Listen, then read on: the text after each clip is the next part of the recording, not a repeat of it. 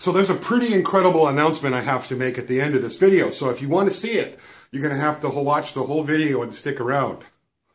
Or you could just fast forward through the video. But you should watch the whole video. video. Hey everybody, thanks for tuning in today. Today I'm going to go over uh, some of the details about this homemade oscillating drill-powered spindle sander. That's a mouthful. So in interest of really keeping this build inexpensive, um, I found these vinyl uh, worm drive and worm wheel on Amazon for a garage door opener that have a, they have a half inch ID, which makes it really easy to you know find the rod and, and uh, bolts to uh, put this whole thing together.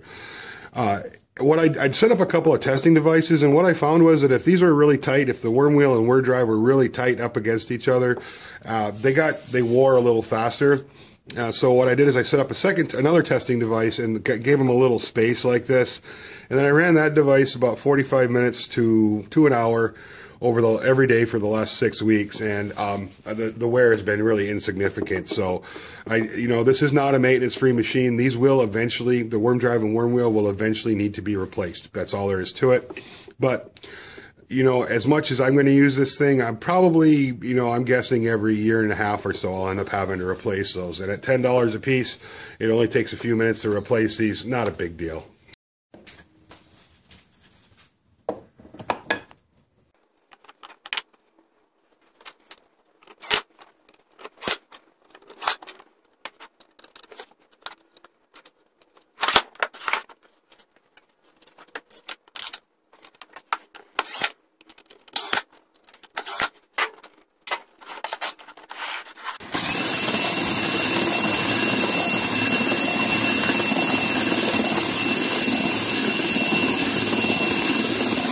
So depending on the, you know, like I use this nine and a half amp drill, Hitachi drill for most of my jig builds. Uh, it's got, it's nine and a half amp, it's a pretty strong motor, runs around 800 RPM, so it works out pretty well. Um, to attach this, uh, because these have these um, metal mounting holes, this is a cast metal, so I can secure a 3 8 bolt right to that, and that makes it pretty easy to mount this to most things. So to secure it, I just uh, pre-drill a hole in a piece of plywood, run my 3 8 screw in there. I say pretty easy, but with this thing turning about, it's a little tricky.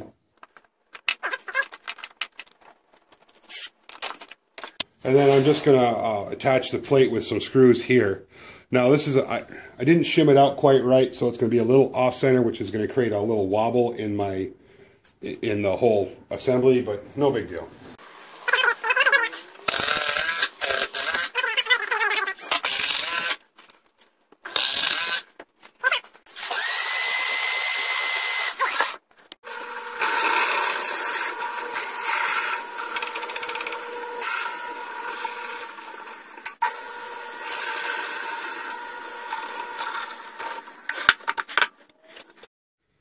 So when I drilled the hole, I was a little off center and um, or off kilter. So I went with the Nick Ferry lathe setup, drill press lathe setup, and the uh, John Heisz lathe tool. Let's see how this works.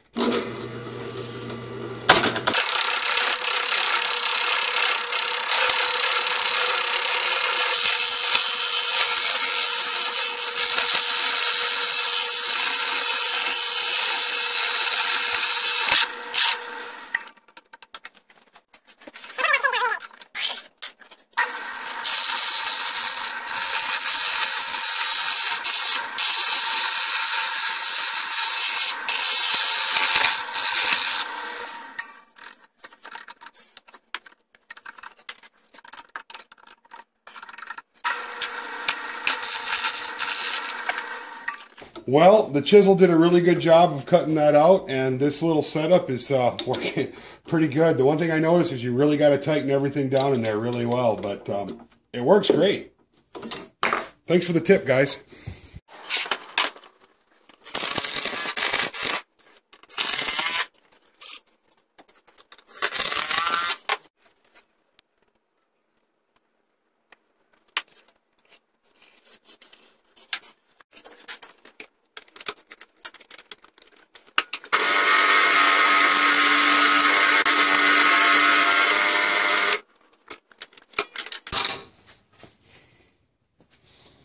So it might be hard to see, but I have, um, that's just a piece of a drill bit. I actually cut this through hole with this drill bit and then cut it off.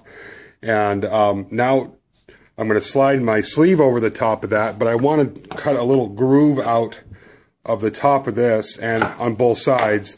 So when I sleeve it over the top of it, it sits over the top of that bar, which will keep it from, you know, spinning freely on the, um, the shaft.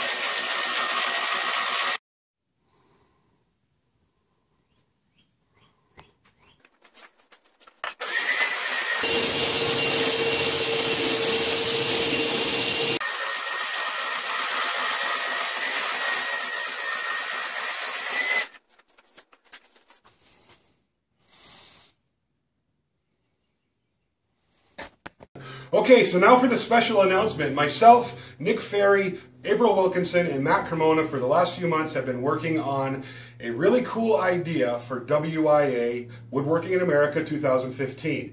We're renting a booth there where we've and we've invited many video creators to join us at that booth so we can we can meet the people who are interested in meeting us, meet the subscribers, but really more than that, to push the online video movement.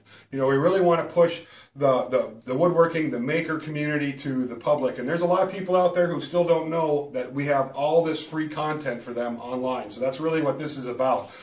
You will not believe the lineup of people that are going to be at this booth. Video creators, artists, woodworkers. It's absolutely incredible. I'm pretty sure there's never been a meeting of this kind of talent in one place before, ever. And if you want to see who's going to be there, as of right now, we'll be adding more people to the roster.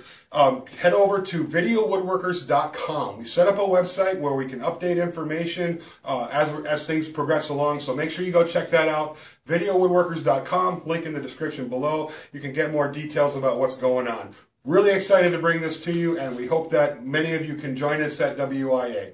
All right, thanks for watching. Anyone interested in building one of these, I have um, in the description box below, there's a set of plans. There's also a set of plans on my website. That link will also be below. The plans have um, all the details on where to find the hard to find components, the bearings and the, uh, the worm drive and worm wheel. So if you're worried about that, there's uh, links there so you can find it pretty easy. So thanks for watching. Uh, we're going to get back to our normal, normal, our normal craziness. Um, no more plans for a while, just going to have some fun building some stuff. So you can expect lots of cool stuff coming down the pipe. Don't forget to like and subscribe, and we'll talk to you soon.